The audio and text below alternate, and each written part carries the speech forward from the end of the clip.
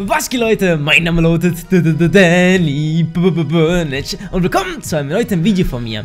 Und äh, ja, heute bin ich nicht alleine, denn heute bin ich mit einem anderen YouTuber am Start, ähm, der mich sozusagen, äh, ja, groß gemacht hat vielleicht nicht, aber er hat mir sehr, sehr geholfen auf meinem Weg auf in YouTube. Und ähm, ja, stell dich mal vor. Ja, ich bin der Max. Ich meine, der ein oder andere wird mich vielleicht kennen. Vor einem Jahr oder so hatte ich noch mehr Abos als der Danny und habe ähm, was habe ich von dir hochgeladen? Diese Claymore-Verarschungsgeschichte, ne? Ja, ja. Und seitdem bist du abgegangen wie Sau. Und habe ich mir gedacht, da müssen wir jetzt mal nochmal drüber ja. reden, so, was dann da so passiert ist. ich habe ihn auch ganz damals mal gesagt, es war wirklich lange her, Max, ich revanchiere mich nochmal bei dir so. Und äh, wenn ich irgendwann mal auch ein paar Abonnenten haben werde, dann werde ich dich auch supporten. Und das war tatsächlich nicht das einzige Mal, als mich der Max gepusht hat, denn ähm, er hat mich äh, tatsächlich schon mal mit 5000 Abonnenten Das ist gepusht. richtig, da das ist richtig lange her, das ist das Video, was du heute nicht mehr kennen willst, ja.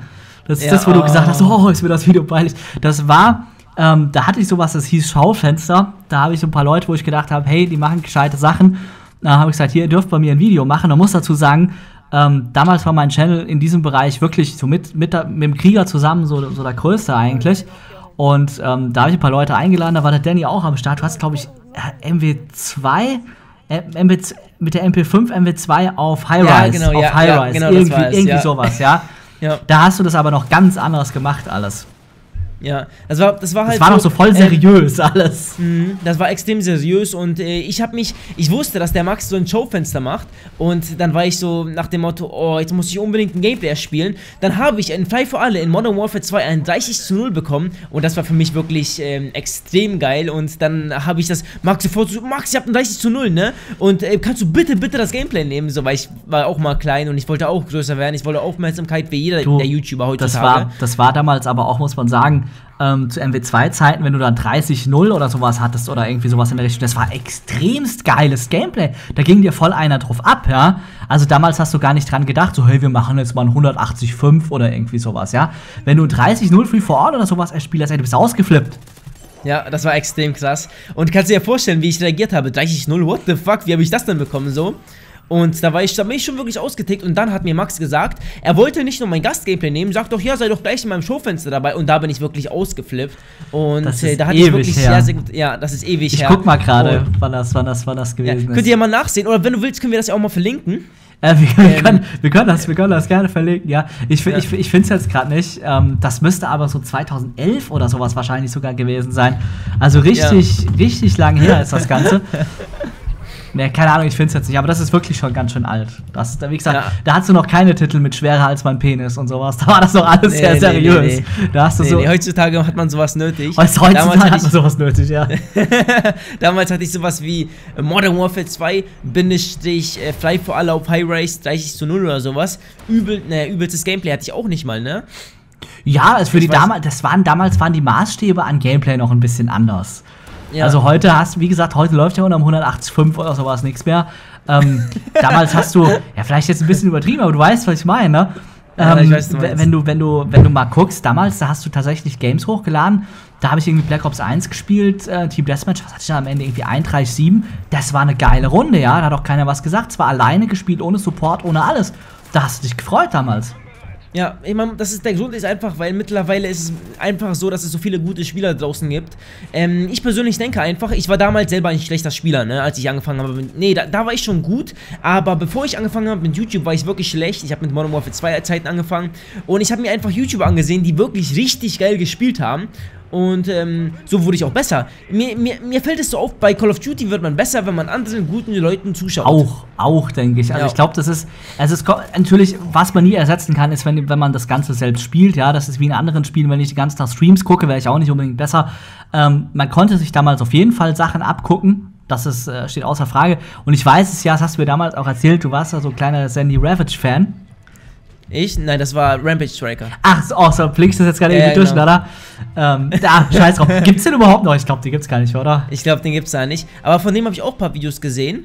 Aber, ähm, nee, von dem war ich nicht so. Das war ein Typ, der hieß Rampage Striker, der war ein extremer Fan davon. Und der hat auch diese Montagen gemacht. Ich glaube, du hast mich mit ihm verwechselt. Das kann sein, ja. Es kann sein, dass ich es durcheinander bringe, ja. Ja, ich glaube auch. Aber ich habe auch ein paar Videos von Sandy Ravage gesehen. Das war damals ja ein Highlight, der Typ. Der war richtig Erfolg, also der war wirklich, ähm, Richtig krass, der hat nämlich so Rockmusik hinterlegt und dann noch von Duke Nukem Sound und sowas. Das war wirklich ein Highlight. So hat das alles angefangen. Ähm, ja. Und ähm, da merkt man einfach, wenn man gute Gameplays damals gebracht hat, dann, ähm, ja, kann man, es gibt einfach zu, viel, zu viele Leute, die schon gute Gameplays liefern können und das ist halt das Problem. Das ist auch die Ansprüche. Wie, wie ich gerade gesagt habe, die Ansprüche der Leute sind ein bisschen anders und ich habe das Gefühl, ähm, du kannst das heute kaum noch schaffen, wenn du tatsächlich wirklich ich, ich nenne es jetzt mal ehrliche Gameplays machst, dass du sagst, ich setze mich jetzt alleine hin, ich fange jetzt an zu spielen. Du hast keine Chance, wenn ich da Leute sehe, die wirklich mit einem ganzen Vierer, Fünfer Squad da anrücken, ja, alle Support spielen, man selbst der Einzige mit Assault Streak ist äh, weißt du, da, da, kannst du, kannst du nicht mithalten, ja. Und das, um jetzt mal ein bisschen überzuleiten zu, zu einem Thema, was wir uns, wir haben uns tatsächlich mal ausnahmsweise ein Thema ausgedacht vorher, ähm, so, mal, so ein bisschen überzuleiten.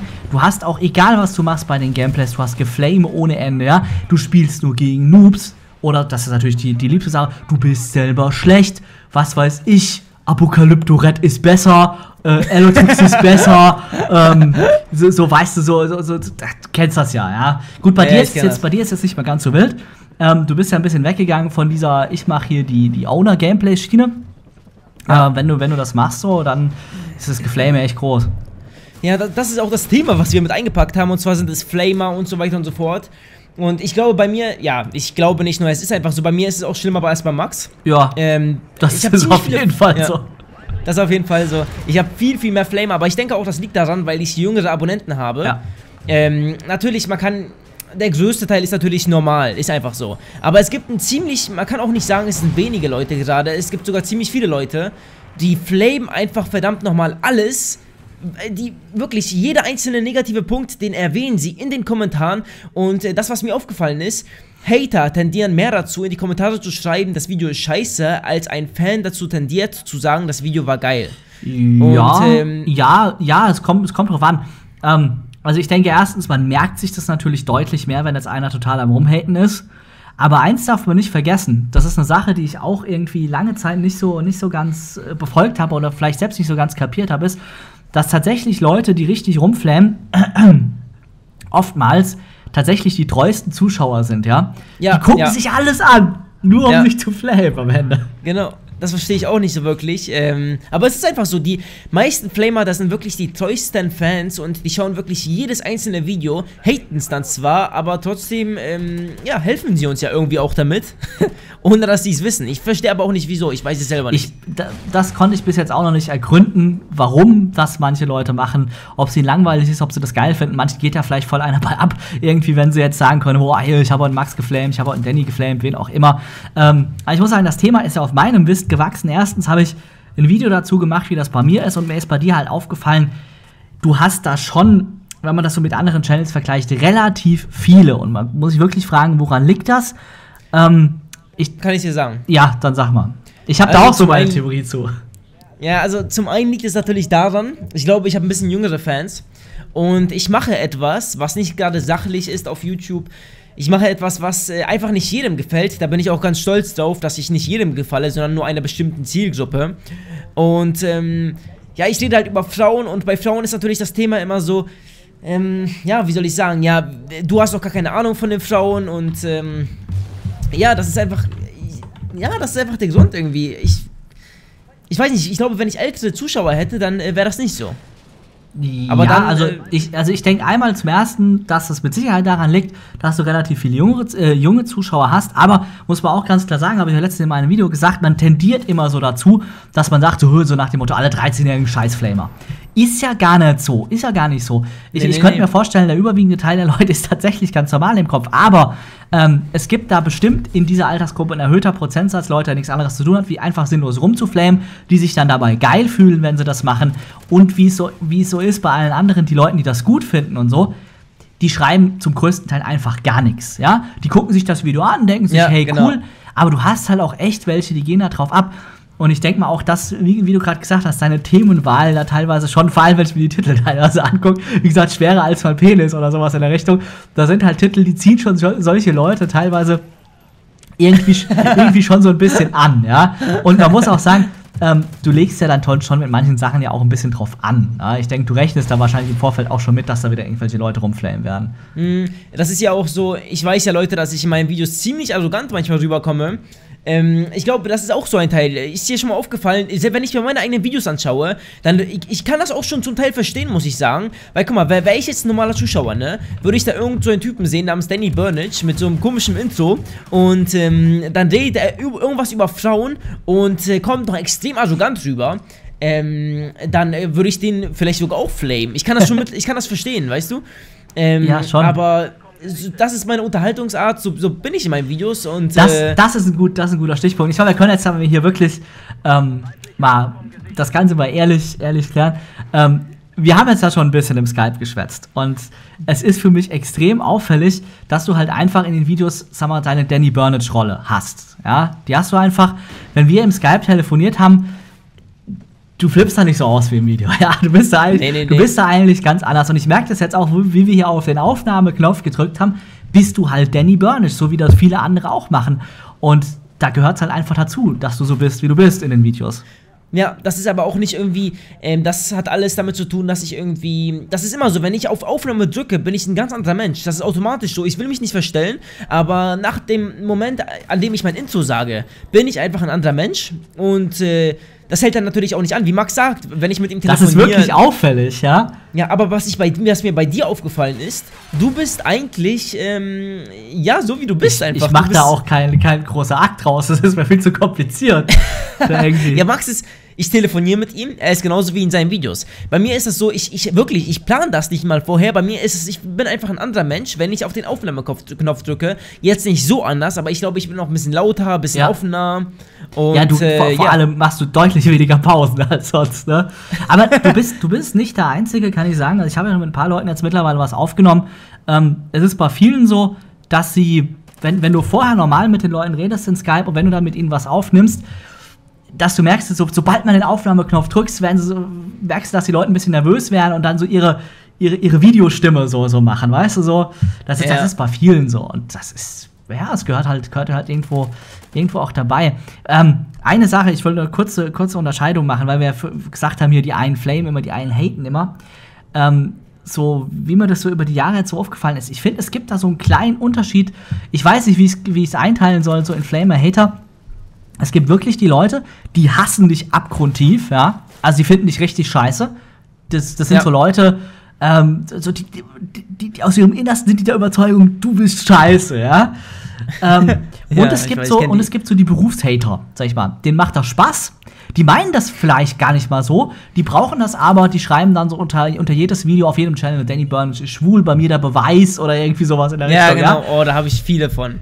Das, ey, da gibt's, ich, ich habe einen Eintrag bei mir auf der Blacklist in den Kommentaren. Gibt es jetzt da mit toller Google Plus, gibt es jetzt da so eine Blacklist. Und ich habe einen Eintrag, das ist irgendein Typ, der hat immer irgendwas geschrieben auf dem Channel Danny Burnish ist ein Nazi, bei mir der Beweis oder sowas. Das ist das Einzige, was ich ja. geblacklistet habe. Bei mir war das auch, ja, der hat das überall gepostet. Oh, was ein Schwachsinn. Wenn man, krieg, kriegen die Leute sonst keine eigenen Videos auf die Reihe, ohne dass sie jetzt irgendwie was sich von einem anderen da ranziehen müssen? Das, das wollte ich auch erwähnen, ja, das wollte ich auch erwähnen. Ich verstehe man nicht, wieso es gibt Leute gibt. Es gibt nämlich so einen Typen, ich will jetzt seinen Namen nicht erwähnen, ne? Es ist ja quasi, ich gebe mir ja nur damit Aufmerksamkeit, aber ich habe so sein Video gesehen und er hat versucht, irgendwelche Argumente zu bringen, die ich irgendwie gar nicht verstanden habe. Und ich glaube, das Einzige, worum es ihm ging, ist, mein, mein Namen in, in den Titel zu schreiben. Das ähm, gibt's, ja.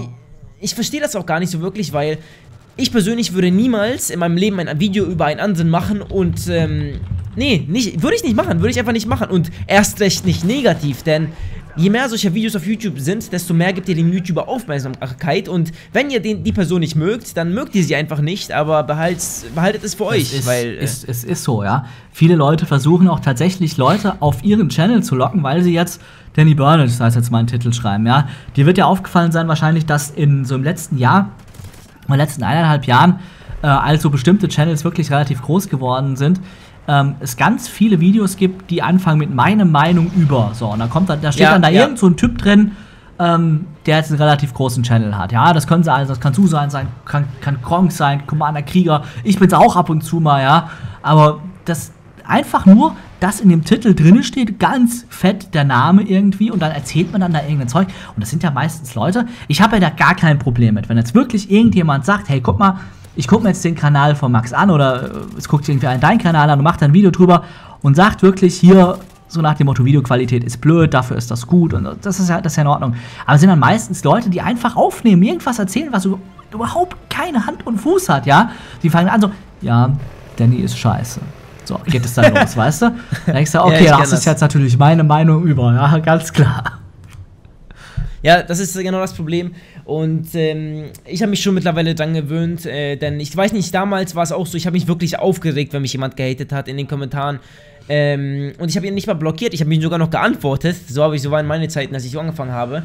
Und mittlerweile blockiere ich einfach die Person und äh, ganz normal geht's weiter und ich mache weiter Videos für meine, ja, für meine Fans. Was mir aber auch aufgefallen ist, Max, ähm, Max ist eine Person, ähm, das würde euch auch aufgefallen sein, wenn ihr auf Ähm, du bist so, du bist genau so wie am Anfang, was mir aufgefallen ist. Du bist genau der Max, den ich damals kennengelernt habe.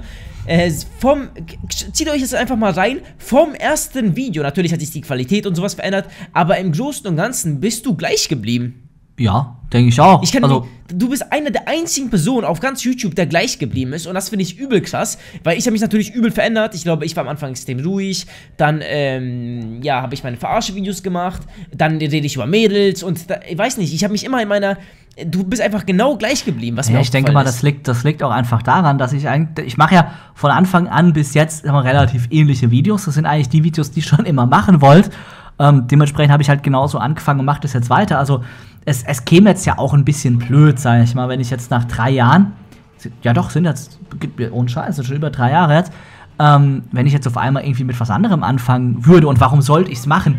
Klar, es gibt mittlerweile auf YouTube viele Sachen, die mehr Views generieren, weil sie vielleicht eine Gruppe ansprechen, wo es halt einfach mehr Leute von gibt. Aber ich sag dir ganz ehrlich, ich bin froh, dass ich Videos machen kann, die mir gefallen und dass es Leute gibt, die die Videos gucken. Es gibt eben nicht zu wenig Leute, die die Videos gucken. Und es gibt für mich überhaupt keinen Grund, was anderes zu machen, weil ich habe gar keinen Bock, was anderes zu machen. Ja, so sehe ich das auch, ja. Ja, ähm, Boah, ich muss, dich, ich muss dich eine Sache noch fragen kurz. Weil du ja? gerade gesagt hast, du bannst die Leute einfach. Wie viele Leute bannst du am Tag?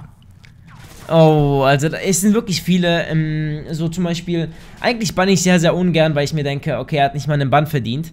Ähm, aber ja, ich banne ungefähr. Ich, ich, eigentlich ziemlich wenig, so zehn vielleicht höchstens. Okay. Ja. Also es sind nicht viele. Ich, hab, ich kam mir manchmal vor, ich mache auch sehr ungern Videos auf anderen Kanälen, muss ich dir sagen. Weil ich bin mir sicher, dass wenn ich auf deinem Kanal bin, die Leute denken, äh, oh nee, nicht Danny Burnage und so weiter und so fort. Das ist so, ja. Also wir, wir haben das ja vor einem Jahr oder so mal irgendwas gemacht, wo ich dich angerufen habe, wo du noch Besuch hattest und danach dann irgendwie, wo ihr erstmal Pizza gefuttert habt. Da, da haben wir ein Video gemacht, da war relativ viel im Vergleich zu anderen Videos, ja, wo sich dann drüber aufgeregt haben, so nach dem Motto, oh Max, du bist doch so seriös, warum machst du denn jetzt was mit dem dummen Danny und so. Ja, genau, ja. Das ist so. Und zum Beispiel, wenn ich auf dem Kanal, ich glaube, das war bei Tesco auf dem Kanal, bei Solution glaube ich auch, bei Allotrix und ähm, bei noch, weiß nicht genau wo, ähm, auf solchen Kanälen, da eben, ja, wie soll ich sagen, die Bewertungen und die Klicks sind zwar ganz gut dann auch, aber es gibt halt sehr, sehr viele Kommentare, wo die Leute einfach sagen, ey, nee, nicht mit dem. Ja. Und da, ich kann es auch zum Teil verstehen. Ich persönlich will auch nicht von jedem gemocht werden. Das ist gar nicht mein Ziel auf YouTube. Ich will einfach nur meinen Spaß haben, über das reden, was mich interessiert. Und so machst du das ja auch. Ja. Und ähm, ich glaube, das ja. ist auch ohne Mist. Ähm, ich glaube, das ist auch das Einzige, wie man das tatsächlich längere Zeit machen kann. Wenn man wirklich über das erzählt, was, womit man sich selbst beschäftigt und wenn man nicht anfängt, irgendwie so großartige Show abzuziehen, ja. Also, ja. ich, ich glaube, anders funktioniert das einfach gar nicht. Ah, du musst ja. das machen, was dir Spaß macht. Klar, bei dir gehört jetzt dazu, dass du Danny Burnage bist, wenn du Videos machst. Aber es ist halt das, was du machen willst. Und ähm, ich denke mal, selbst mal angenommen, es werden jetzt auf einen Schlag alle Leute 30 plus, ja, und alle sagen jetzt, hey, ja, die Videos von Danny, die habe ich ja vor 15 Jahren geguckt, die gucke ich mir jetzt nicht mehr an. Ähm, entweder bist du dann selbst älter, dass du auch andere Videos machst, oder ja. du, wirst die du wirst dann wahrscheinlich immer noch Videos machen, wo du Bock drauf hast. Könnte ich mir zumindest vorstellen. Ja, also ich werde auf jeden Fall äh, noch lange YouTube machen, denke ich. Ja, aktuell läuft es ja auch nicht schlecht. Da. Du hast ja echt keinen Grund, das irgendwie aufzuhören. Nee, es läuft halt ganz gut. Ähm, und äh, ja, ganz genau. Also ich bedanke mich. Also ich weiß nicht, wollen wir noch weiterreden? Ich, oder? Also wir reden schon extrem wir sind lange. 20 Minuten am Schwätzen schon, ja. ja wir genau. mussten eins, eins, ähm, eins, wir haben letzten Silvester irgendwann, glaube ich, ne? Haben wir irgendwie ja. eineinhalb Stunden oder so geschwätzt noch. Und ja, ähm, ja. Ja, wir haben manchmal. Ach, das war. Das, ich glaube, wir? Ich, ich glaube, das war. Ich kann mich gar nicht mehr erinnern. Ich, ich, weiß, doch, doch, das war letzten Silvester. Doch, doch, ne? haben wir, haben wir, ja, haben wir. Da haben wir ja. übertrieben, übertrieben lang geschwätzt, ne? Und da haben wir auch damals eigentlich schon geplant, wir müssen mal was zusammen aufnehmen. Also seht ihr oh. mal, das ist schon so lange her. Jetzt war das ein Jahr ja. später. Das ist echt krass. Ich glaube, da hatte ich noch 150.000 Abonnenten. Du, du so? hattest noch weniger, ja, du hattest noch weniger. Echt? Noch weniger? Du hattest, du hattest zu dem Zeitpunkt, wo wir das letzte, du warst ja einmal bei mir auch auf dem Channel, äh, wo wir das Video gemacht haben, hattest du, glaube ich, noch ein bisschen weniger als ich. Du hast in 2012 übertrieben, irgendwie 150.000 oder so gemacht, glaube ich, gell? Ähm, du, ja, du hast mich sowas, übertrieben ja. abgehängt jetzt. Ja, aber. Vielleicht sollte ich eigentlich ich, auch, vielleicht sollte ich auch solche Videotitel machen. Würde ich dir empfehlen. Ne, also ich bedanke mich auf jeden Fall bei Max auch äh, für das Ganze. Also ich weiß nicht, ob ich damals groß geworden wäre ohne ihn, aber er hat mich halt bei 20.000 Abonnenten mal gepusht. Ich durfte eine Verarsche, genau eine Verarsche, die könnt ihr euch auch bei Max reinziehen. Ähm, gibt einfach Danny Burnage, Max oder keine Ahnung, irgendwie sucht einfach irgendwas, irgendwas mit Claymores war das. Ja, genau, das war so eine Claymore-Verarsche. Die durfte ich bei ihm hochladen. Die hat mir, ich glaube, 3.000 bis 5.000 Abonnenten eingebracht. Das ging ab, bin ja. ich ausgetickt. Ich bin jede Sekunde aktualisiert und jede Sekunde kam ein Abonnent dazu. Und seit dem Moment äh, habe ich mir gesagt, ich will mich bei dem Typen revanchieren, weil er mir wirklich geholfen hat. Deswegen, schaut auf jeden Fall auf seinen Kanal vorbei, äh, checkt seine Videos aus. Er macht halt sowas, ähm, also, ja, macht er eigentlich auch Call of Duty eigentlich. ich, war, nur, äh, ich mache in letzter Zeit ein bisschen mehr Battlefield. Wer allerdings ja, genau. auf Competitive Call of Duty steht, vielleicht an der Stelle auch mal ein bisschen Werbung zu machen, ist ja. aber mir aktuell in Deutschland richtig. Ähm, ich lade in letzter Zeit relativ viel MLG-Gameplays hoch von der Xbox mit SK Gaming zusammen. Wer sowas mag, kann sich das ja auf jeden Fall mal angucken. Wer Battlefield, Battlefield mag, ist bei mir auch richtig. Ähm, ja. Und wer schwerer als mein Penis will, der bleibt dann beim Penny. ja, was auch übel ähm, krass ist, du hast ja auch übel viele Abonnenten. Du hast, ich glaube, irgendwie 200.000 oder sowas. 220 oder sowas, ja. Ja, 220.000. Du musst dir mal vorstellen, das ist jetzt nicht nur. Gut, vergleich es mal nicht mit irgendeinem anderen YouTube-Kanal, aber 220.000 Leute abonnieren deinen Kanal. Das ist, ex das ist einfach heftig. Also. so schlecht kann dein Content gar nicht sein. nee, ich denke auch, das kann, man, das, kann man, das kann man sich schon sehen lassen, was ich da, was ich da fabriziere. Äh, ich meine, ja. man macht das jetzt ja auch schon drei Jahre lang ähm, gab es ja nicht so viele damals so in dem Dreh rum. Es gab, es gab ja. echt nicht viele. Es gab den Krieger, es gab den Kaboom und ein paar, die es heute nicht mehr gibt. Also es gab echt nicht so viele. Du bist ja erst ein bisschen später dazu gekommen. Ich glaube, dich gibt so Ende 2011, oder? Ja, ungefähr. Kommt hin, ja. Ah, irgendwie so in dem Dreh. Genau, Na gut. Ja. Oh, alles klar, jetzt haben wir lange geredet. Und ich bedanke mich fürs zu Ende schon. Wenn es euch gefallen hat, dann klickt den Daumen nach oben Button. Und ähm, dann habe ich noch eine Frage, die ihr in die Kommentare schreiben könnt. Und zwar, äh, was für einen Grund gibt es, dass ja, ich persönlich mehr jetzt, äh, naja, was heißt mehr gehatet werde? Es gibt sogar noch viel mehr Leute, die noch mehr gehatet werden. Und ich persönlich, also es ist wirklich noch bei mir an der Grenze, es geht noch. Also, aber äh, was denkt ihr? Komme ich so also ganz drüber? Äh, eure Meinung in die Kommentare. Link in der Beschreibung zu Max FPS. Und äh, ich überlasse dir das Schlusswort. hast du dir von mir abgeguckt, stimmt's? Oh, das sag ich schon lange. okay, ja, ich hab's von ihm abgeguckt. Ähm, keine Ahnung. Das, ich finde ich find das immer schwierig, das mit dem Schlusswort. Das sage ich nämlich auch immer. Keine Ahnung, macht's gut, bis dann, tschüss. Okay, dann sage ich nur noch 3, 2, 1. Tschüss.